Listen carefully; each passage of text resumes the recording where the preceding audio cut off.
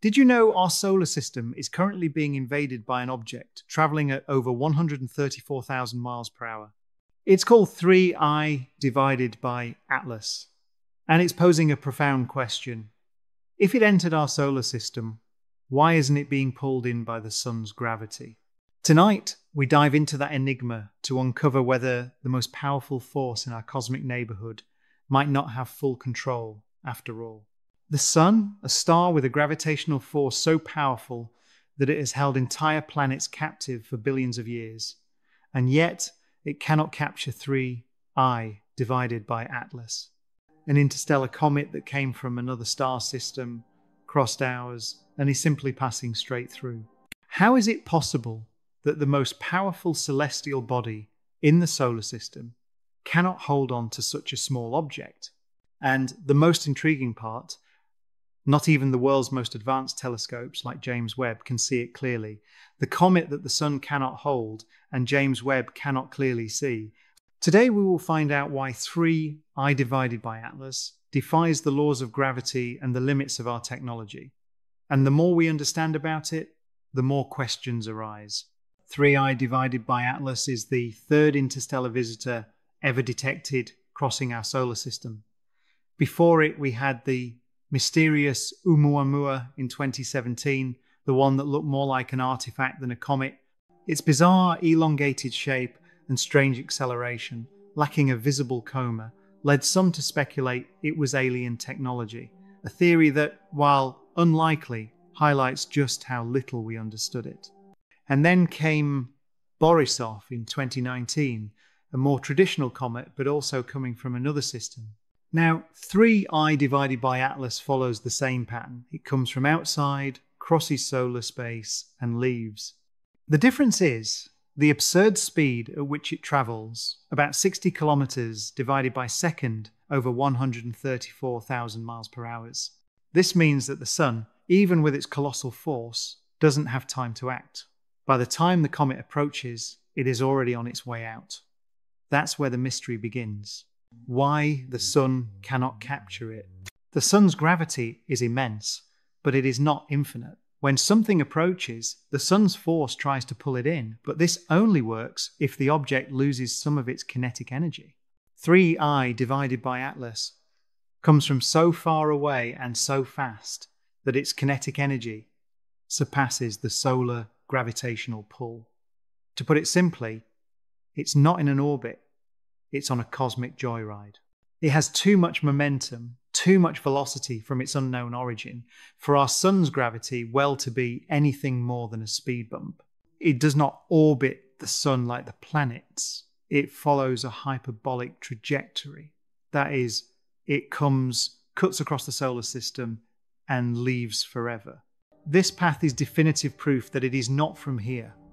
It is a true alien, born in another solar system and ejected on a journey spanning millennia. For the sun to capture it, something would have to interfere with its path.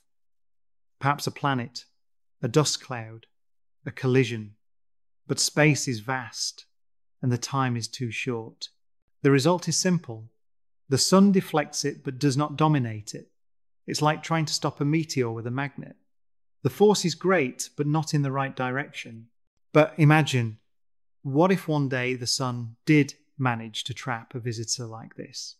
It would be the birth of a new orbit, a new body coming from another system, perhaps even something that doesn't exist anywhere else in the universe. Why telescopes can't see it clearly? Now comes another question that many people ask How can the James Webb, capable of seeing galaxies billions of light years away, not clearly show 3 I divided by Atlas, which is right here in our cosmic backyard? The answer lies in the telescope's purpose.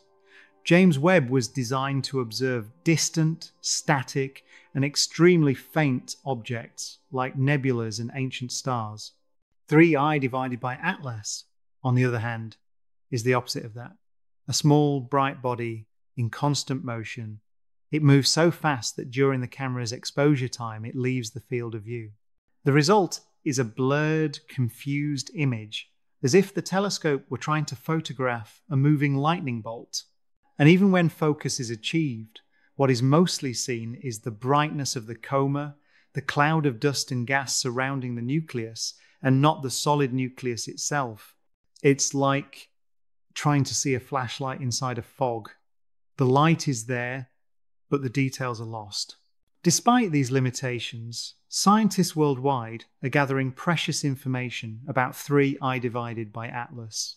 The Hubble telescope calculated that its nucleus is between 440 meters and 5.6 kilometers in diameter, much smaller than expected. James Webb detected high emissions of carbon dioxide and carbon monoxide, suggesting an exotic chemical composition different from most ordinary comets. And ground based telescopes like Gemini confirm something even more curious.